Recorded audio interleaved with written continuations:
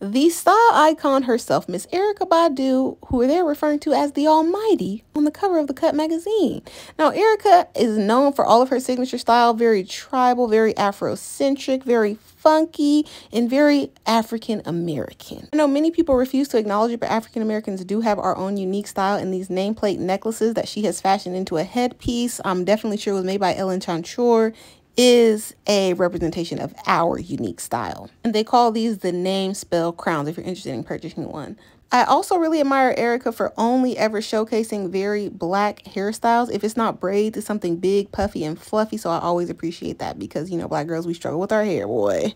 But her more over the top looks like this one are the ones that kind of speak and I feel like they will go down in history more so associated with her. This shot was so beautiful with the tear coming down. My God, it's art. And then juxtaposed next to this one, it's giving me a kind of evil genius look. I like it because for me, it represents the different ways a person can choose to be vulnerable. And the final shot, which is my favorite of the whole entire shoot outside of the teardrop picture, is this one because I feel like it embodies Erykah in the most simplistic yet loud way possible. Her standing in her power in all black with the tribal makeup, the long braids is definitely giving me an oracle vibe. Let me know what you think about the shoot in the comments and please don't forget to subscribe.